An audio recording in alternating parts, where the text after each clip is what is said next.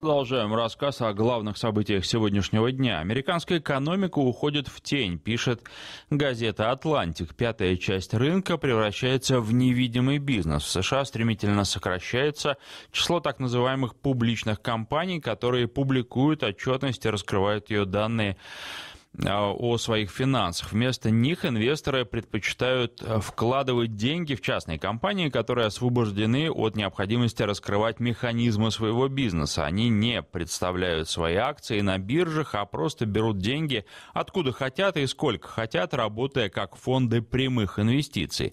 Это десятки триллионов долларов, которые никто не видит. Опасность в том, что при таком формате трудно оценивать ситуацию на рынке и прогнозировать дальнейшее развития событий. На связи со студией финансист, член Президиума Совета по внешней и оборонной политике Александр Лосев. Александр Вячеславович, здравствуйте. Здравствуйте. Скажите, а означает ли это, что эти компании точно так же налоги не платят или платят не в полном объеме? Да нет, они там все платят. Хотя у них э, в Америке есть огромное количество внутренних офшоров. Ну, тоже штат Невада, и индейские резервации, и вообще офшорную историю придумали у нас. Э, те же самые крупнейшие корпорации, там Google, Microsoft, э, Apple, Yahoo, они же платят налоги по ставке около 5%, потому что используют огромное количество офшорных схем. Вопрос не в этом. Вопрос э, главный в том, что в Америке по сути, страна победивших юристов и очень жесткого регулирования. А с другой стороны, опять же, победивших юристов, которые на этой лазейке – в этом регулировании и большого количества денег. Да, и вот эта вот экономика прямых фондов – это экономика, когда э, владельцам бизнеса, тем, кто э, дает деньги в рост, ну, такие вот старушки-процентничества там есть тоже, а, легче избежать наказания за какие-то правонарушения, за какое-то несоответствие э, вот, э, регулированию. И компаниям проще привлечь деньги частных э, инвесторов, вот фондов прямых инвестиций, пусть даже выше, чем банковский процент, чем доказывать банку, что у вас бизнес пойдет, и бизнес не загнется, и банк очень часто может отказать, а эти не отказывают. Ну а в чем проблема тогда? Бизнес развивается, и, наверное, это главное? Э, проблема в том, что бизнес развивается э, как-то не очень э, открыто, и регуляторы не понимают, что какие риски взяли на себя те или иные инвесторы, те или иные компании. Потому что одно дело повышать процентные ставки и контролировать публичные компании, у которых раскрывается отчетность.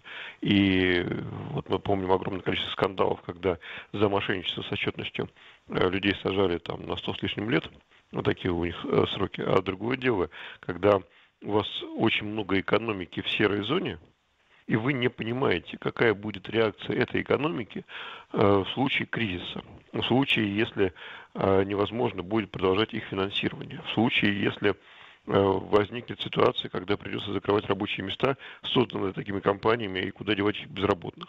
Ну и так далее. То есть иная модель капитализма э, такая, что э, ей очень сложно управлять. А когда мы имеем что-то, чем сложно управлять, а на, на пороге кризис, вот тогда возникает ощущение, что э, те риски, которые оцениваются регуляторами, или правительством Соединенных Штатов, э, как, допустим, средние, могут быть катастрофическими. Ну, то есть э, они не знают, достоверной информации не имеют о том, что происходит у них в стране, в их экономике, ну, соответственно, э, никто не знает, как вся эта система поведет себя в случае, если она выйдет из э, стабильного состояния, в котором сейчас находится, правильно?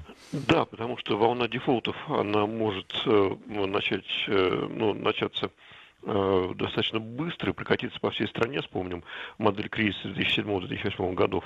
Там же ставки выросли, в том числе ставки по ипотеке, они сейчас выше, э, чем в 2007 году, когда начался ипотечный кризис. А, непонятно, как отреагируют банки на такие дефолты, потому что у них есть такое четкое правило избегания риска, риск в случае, если начинаются а, проблемы с невозвратами. Вот что делать тем, кто в, э, в тени, вот этим частым инвесторам, которые также являются, в принципе, клиентами тех же банков.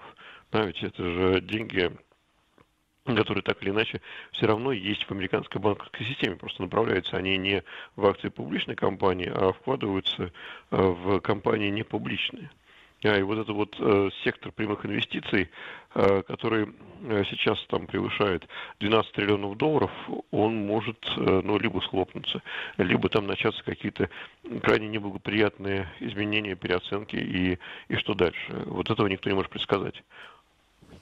То есть вот то, что очень долго говорили, что рынок сам себя отрегулирует, видимо, не получается тогда. Нужна все равно какая-то плановая экономика и нужны достоверные данные о ее состоянии. Нет, рынок можете отрегулировать, просто тогда э, не надо отрегулировать регулировать все остальное, вот, э, повышая э, процентные ставки и создавая правила для одних, э, надо, чтобы и для других были либо такие же правила, либо смягчайте правила для всех. Да, и вот здесь, когда такой перекос, когда с одной стороны э, одна банковская часть системы финансовой жестко зарегулирована и не может э, э, ничего сделать лишнего, и это снижает риски, в принципе, другая не зарегулирована, и там можно все что угодно, вот это уже не рынок, это уже такая очень странная конструкция, которая может э, повести себя вот в случае такой сейсмической опасности, если вдруг начнутся на рынке потрясения самым непредсказуемым образом. Спасибо. На связи со студией был финансист, член Президиума Совета по внешней и оборонной политике Александр Лосев. И добавлю, что Александр Вячеславович вновь выйдет в эфир нашей радиостанции сегодня примерно в 15 часов 33 минуты после выпуска новостей и расскажет о главных событиях, экономических событиях э, этого дня, а также даст свои комментарии к этим событиям.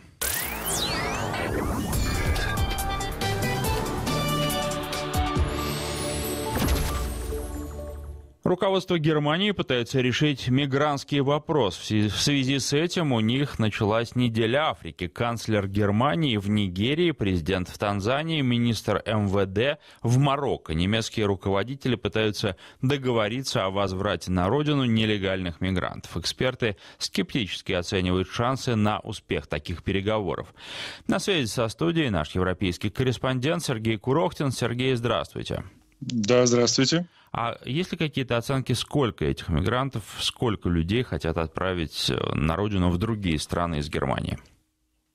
Да, безусловно, такие оценки существуют. Ну, например, можно сказать, что э, вот Нэнси Фезер, она сейчас, э, она, точнее, она вернулась вот только что из Марокко, и э, в Германии находится, как заявила Нэнси Фезер, 3660 человек из э, Марокко, их, естественно, больше, но это 3660, это те, которым уже отказали в статусе беженца, и они обязаны покинуть страну. Но, естественно, они могут это сделать только после того, как Марокко согласится их принять. Именно поэтому Фезер и ех, э, поехала туда, чтобы попытаться договориться о правилах депортации. Но, кстати говоря, королевство уже категорически заявило, что оно против депортации чартерными рейсами. Отдельные варианты можно рассматривать. И вот на данный момент пока из Германии депортировано э, в Марокко всего 63 человека. Примерно такая же ситуация и у Шольца, который э, находился в Нигерии, сейчас он переезжает в Гану. И э, в Нигерии не будем забывать, что э, Нигерия самая густонаселенная страна э, Африки. И э, Нигерия на первом месте среди африканских стран по числу э, носитель, э, просителей убежища в Германии. Соответственно, и этот вопрос, конечно же, э, э, находится ну, в числе главных во время переговоров Шольца в той же Нигерии. Хотя сам Шольц э, в первую очередь подчеркивает, что он приехал в Нигерию для того, чтобы договориться о поставках газа. Все-таки Нигерия обладает самыми большими в Африке ну, на данный момент, по крайней мере, запасами газа. И Шольц сказал, что он будет вести переговоры о поставках как газа, так и в будущем водородного топлива, совместных инвестиций в это и так далее. Но немецкие СМИ прежде всего, конечно, говорят о том, удастся ли договориться о э, депортации нелегальных мигрантов. При этом хочу обратить внимание, что э, и Шольц э, э, в Нигерии и э, Фезер в Марокко, когда была, они предлагают следующий план африканским странам. Они предлагают не просто так или иначе, чтобы они забрали своих нелегальных мигрантов. Нет, э, конечно же, такого рода постановка вопроса уже давно, она ну, бессмысленна и безуспешна. Э, предлагается следующий план, чтобы, э, во-первых, стимулировать иммиграцию квалифицированных кадров из Африки, облегчить визы для студентов из этих стран, для стажеров, вести совместные проекты, то есть сделать так, чтобы сделать легальную миграцию, которая может быть контролирована. И, э, естественно, не будем забывать, рабочая сила в Германии все-таки очень и очень нужна. И, соответственно, подготовленную рабочую силу в Германии готовы принять. Поэтому они предлагают этим странам вот такой план э, стимулирования э, иммиграции квалифицированных кадров. Но одновременно с этим, говорит Германия, заберите, пожалуйста, нелегальных мигрантов. Но вот со вторым как раз проблема очень большая, и пока немецкие средства массовой информации достаточно скептически, как правильно вы уже сказали, а оценивают шансы на достижение каких-то конкретных договоренностей. Да, что эти визиты имеют не только вот такой прагматический характер по поводу вопросов миграции. Хотя, безусловно, они очень важны, не будем забывать, и Шольц, и та же Фезер – это э, деятели социал-демократической партии Германии, и эта партия только что потерпела сокрушительное поражение на земельных выборах в Баварии и э, Гессене, и э, одной из причин этого была как раз проблема с нелегальной миграцией, миграции, и поэтому они сейчас рванули в Африку для того, чтобы попытаться эти вопросы решить. Но не только для этого, и, э, безусловно, например, очень многие эксперты, приведу мнение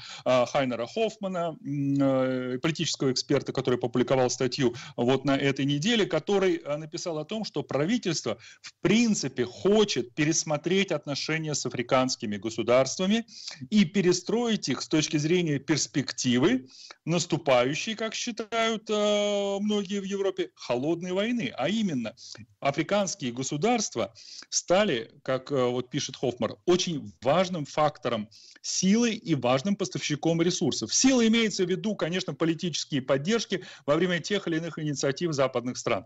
И то, что во время голосования в ООН по резолюциям, так или иначе связанным с конфликтом, например, на Украине, многие африканские государства не голосовали э, в поддержку тех резолюций, которые представляли западные страны, конечно же, это э, одна из причин, почему Европейский Союз в целом и Германия в частности хотят начать уделять больше внимания африканским государствам и перестраивать с ними отношения. Плюс к этому, конечно же, это Африка становится важным поставщиком э, Э, ресурсов для европейцев э, в нынешней ситуации.